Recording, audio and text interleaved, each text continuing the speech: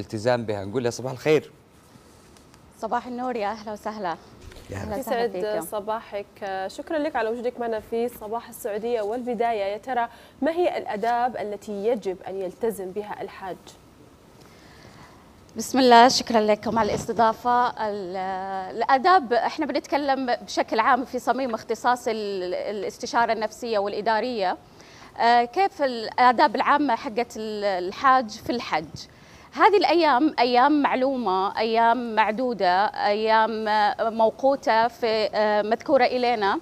نستفيد منها. أي شخص دائما إذا بيحط أهداف أو بيغير سلوكه أو حياته دائما آه، يحط أهداف في أوقات معينة. عادة تصير رأس السنة بداية السنة الهجرية بداية السنة الميلادية أيام رمضان نحط لنا أهداف ونوايا. من ضمنها حتى في الحج حتى اللي ما بيروح الحج يقدر يستفيد من هذه الأيام العشرة آه، الأيام الفضيلة بوضع أهداف. لما الواحد آه، يحط له هدف ومنها أهم أهم الأهداف اللي يحطها التغيير التغيير الداخلي لنفسه. لما يحط التغيير الداخلي لنفسه بيعرف اتجاهه إلى أين يصل. وش الحصيلة اللي بيحصلها في في الحج أو في هذه الأيام؟ الفضيلة كيف يكتسبها كلها كاملة؟ الهدف هي أهم حاجة. وقبل الهدف لازم النية النية حق آه، النية ال- آه، والقصد. آه، موجودة عندنا في الشريعة أن النية والقصد. أي شيء أي هدف عندك أي آه، آه، أي برنامج إنك تبى تخطيه لازم تحط النية والقصد حقها الهدف حقها. النية هي بتسرع لك آه، بتسرع لك آه، مجريات الأمور بتصير بشكل صحيح. لما أنا يكون نيتي إن أنا أغير ذاتي اولا وإن أنا لما نعرف ذاتنا إحنا بنعرف ربنا يعني بنعرف امور كثيرة. لازم نتعرف على نفسنا وعلى ذواتنا أكثر في هذه المرحلة. لما أنا أكون أحط نية في تغيير الذات والنية التقرب إلى الله والنية إن إخلاص آه، ال- الإخلاص آه، في الحج هذا بتكون إن عندنا آه، تقريب إلى ال- إلى الحصيلة أو القصد من هذه الأيام. جميل, جميل. يعني أستاذة البعض يتوتر خوفا من نسيان أمر معين من أمور الحج منسك معين من مناسك الحج فيكون مشدود متوتر ومعصب. فكيف ممكن يحافظ على هدوءه؟ آه، بنفس الوقت يتجنب الجدال في الحج نعم. آه طبعا هي بتكون آه هذه الأمور واردة في الحج ولا في غير الحج وعندنا أهمية إن لا جدال لا رفث لا فسوق في الحج. آه طيب كيف نتجنب هذه الأشياء؟ كيف إن إحنا نتفادى هذه الأشياء؟ آه، التهيئه إلى مرحلة الحج لازم تكون من بداية السنة زي لما تبغى تخفض وزنك. ما انت ما بتبدأ على طول دايركت بتمتن- بتمتنع بتسوي برنامج بت... طول السنة بتستمر على هذه الأمور. فنفس الشيء في الحج لازم إنك تكون مهيئ قبل.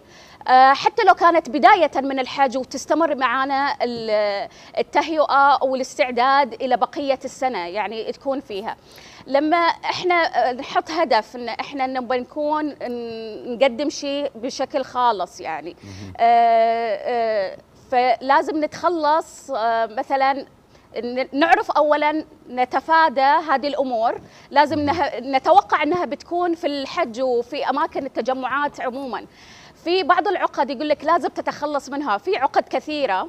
آه، العقد مختلفة عن المعتقدات قليلا. العقد أهمها خلينا نذكر عقدتين.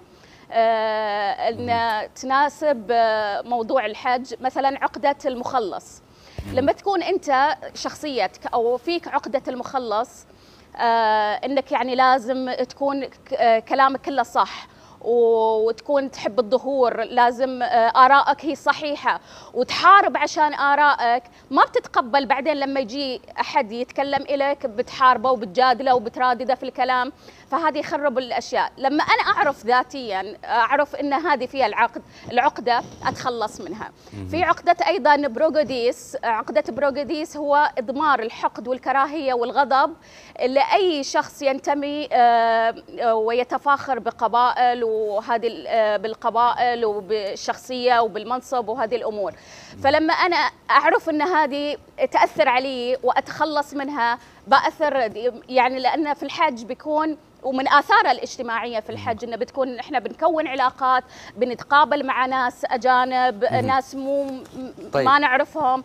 بنشوف متغيرات كثيرة أصلا في الحج يعني كأننا مسافرين آه، عشرة آلاف من البلاد. يعني كأننا مسافرين وبنتقابل ثقافات متعددة. صحيح. فلما تكون عندي هالعقدة عقدة بروغديس ونتخلص منها آه، بتفيدنا إن إحنا كيف نتعامل مع الأمور.